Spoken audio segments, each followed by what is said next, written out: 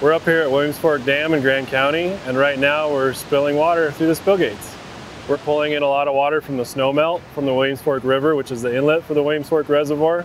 And right now we're running it through the spill gates because it's the best form of transportation of water that we have for high flows.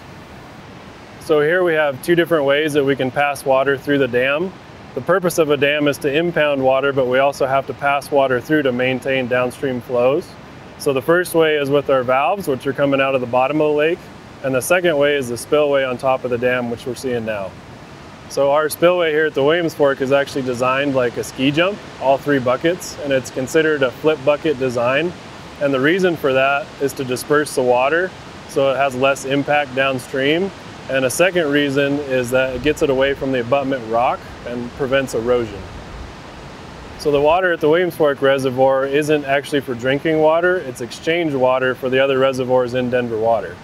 So what we use it for is if someone has to take water from another reservoir to go to Denver, we exchange that back into the Colorado to keep the water flowing downstream to the other water users.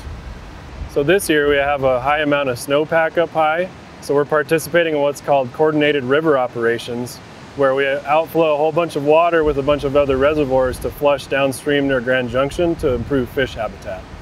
This time of year at the Williams Fork Dam, it's incredible. There's a lot of greenery, it's very lush, we have a lot of water running. It's really a cool time of year to be here.